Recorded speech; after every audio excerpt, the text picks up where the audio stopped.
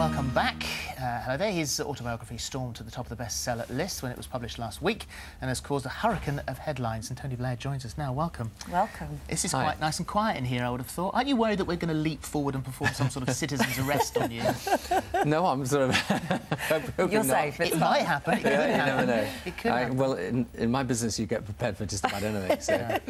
Let's start with, uh, before we get onto the book, let's start with, uh, with things that are happening at the moment uh, in, in, the, in the newspapers, this sort of unfolding story. Um, uh, were you ever hacked, do you think?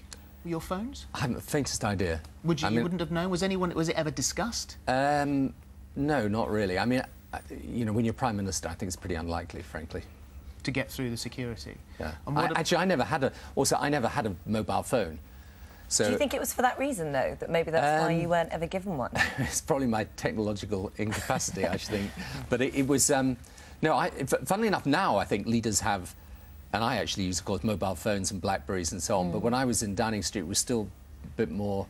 You know, you, did, you didn't have that type of technology. So I doubt very much whether some they would have had to have hacked into the Downing Street switchboard, and I suspect that's pretty impossible. so it never showed, whilst you were, were in Downing Street, it never showed up on your radar? Not. I mean, it showed up on my radar because it was being discussed, I think, but but not in relation to me, really. And if you were Prime Minister now and it was happening on your watch, this was all going on, what would you do?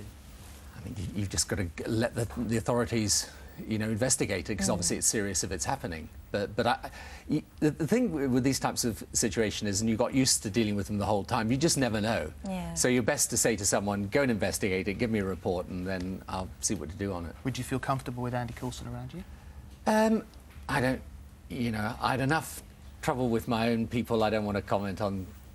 It's up to David Cameron who he employs, and that's fine by me. It's What's, really- um, what's happening this evening? Because we know that the, um, that the, the book signing today was cancelled because of potential civil unrest, um, which has followed you from Dublin. Um, what about the party tonight? You know, we're, we're, we're getting reports that the party's been cancelled. we just put the whole thing off really because it, it's look it's it's sad in a way because it's you know in a sense you, you should have the right to sign books or see your friends if you want to do it but it was going to cause so much hassle and for the people at the party tonight who are friends and some of them not political at all i mean i don't mind going through protests i've lived with that all my all my political life but for other people it can be a bit unpleasant and a bit frightening actually so it's, it's supposed to be a, a nice occasion, so if it's not going to be that, There's no point in there's doing more Were important you things to surprised about the reaction? I mean, obviously, when you write something like this, you know that certain feathers are going to be ruffled in places, but Hmm. are you surprised that... No, not, not at all. I mean, essentially, one of the things that happens, I write about this in the book actually, is that nowadays, even if a small number of people make a protest, the visible impact of that, you know, people throwing things and shouting, it always kind of takes the news. But like in Dublin, you know, there were a small group of protesters, but then there were hundreds of people coming to get the book signed and being very friendly. So. It, it's but it, but it always happens like that, you know. It's just the way it is. So, so does that mean that the, that the party is cancelled or just postponed? uh, we'll postpone it to another time. You'll do it again? Yeah, no, I mean, I, I'd like to say thank you to the people that worked on the book and this type of thing. You know, there's lots of people who work for you, and they very rarely get the chance to be sort of brought into a party and, you know, say thank you for all you did. And all these people, I mean, now I've actually published a book, I know what goes on behind the scenes. There are all these people burying away doing all this work. So it's nice to, to, to recognise them. But Was there a point when you thought, oh, do you know what, I'm just not going to, I'm just not going to publish a book because it's going to be so much hassle and I don't need to do it? Um, not really, because I think the thing with these these folk, as I say, you know, one of the things you learn in, in politics, actually in life, I think, is that those that shout loudest don't necessarily deserve to be heard most. You know, there's most people. I mean, I find, you know, most people, even if they disagree with me very strongly, are reasonable and pleasant, and they may say, "I totally disagree with you about this or that," mm. but they don't feel the need to kind of throw something at you. You know, so I think you've got to be very careful of mistaking those types of people for the whole of the Well, country. you say or, in the book, you say there is a certain sadness that settles on you that never leaves.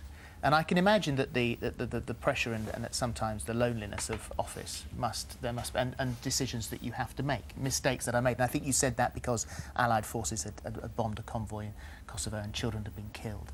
Um, but, but one of the things that was shouted out at you in Dublin uh, was, hey, hey, Tony, hey, how many kids have you killed today? Now, there, there's, no, there's no sense of that sadness lifting, I would have thought, if, if, if people shout something like that at you. How does that make you feel? It's not those people shouting it, because in a sense they come at it from a very particular point of view. And actually, the truth is the people that have died, for example, in Iraq have basically been killed by terrorism, you know, not by, by us. But there is a sense in which when, you know, I came in, I think you were showing the pictures of me coming in in 1997, uh, looking rather younger than I look Euph- today. But euphoric. Uh, yeah, absolutely. And if you'd said to me as I came in that door, actually, your premiership is going to be dominated to the extent it became after 9 11, and even before that, actually. You'll take us into four wars. Yeah, I would have said, oh my goodness, what on earth? You know, but that's the way it is with the job.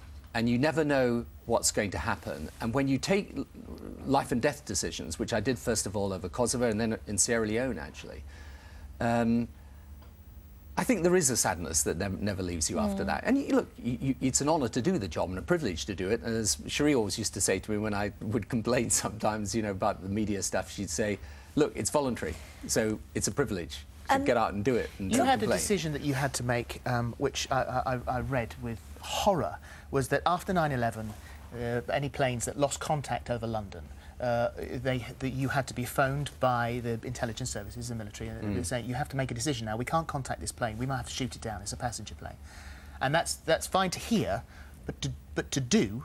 And you got a phone call saying we have lost contact with an aeroplane over London.